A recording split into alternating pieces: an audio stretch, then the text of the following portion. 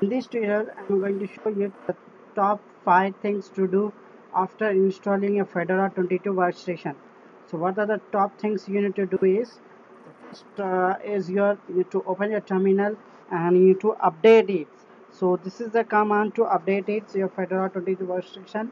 And next is to your configure your GNOME shell interface. So this is the step to configure and install your GNOME tweak tool.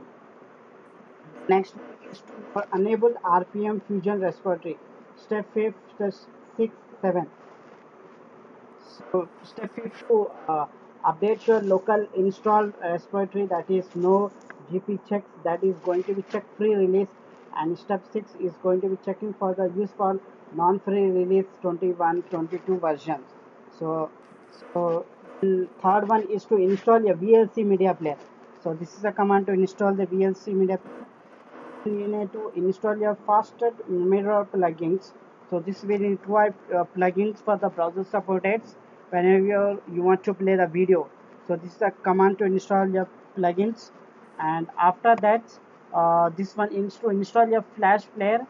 So this is a command to uh, have installed uh, 64-bit supported on that one. 13 14 15 are the procedure to uh, have installed the flash player. And it's going to be downloaded first step 13 and after that we need to export the key and the 15th one to install the flash plugin.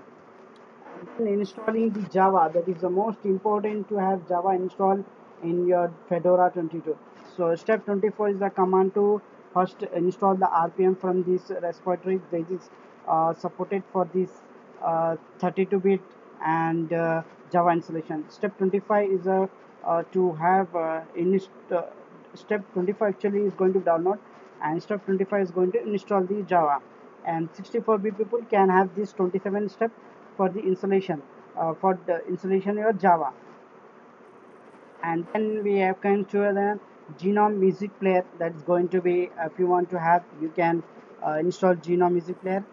If you want to install zip dot rar files plugins means this is a command to install uh, zip and rar file. And once you open the terminal. Again into your fedora. Uh, we want to check the version means slash cat then you to type slash. Then you're going to type etc slash release then you to type add add hyphen release.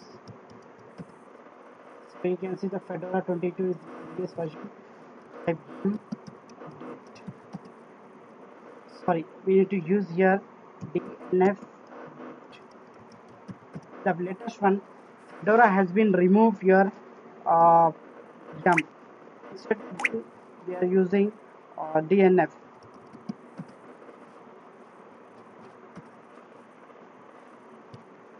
so first of all i am going to log in with root type su press enter look for the root and i type dnf get Fedora now using instead of yum they are using dnf that's uh,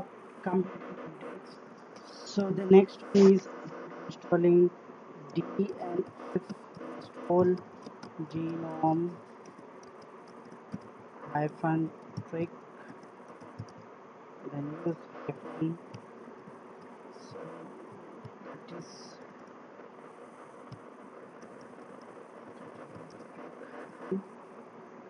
cool. So this is the command to install this gnome tweak hyphen tool. So press yes. So uh, for installing VLC type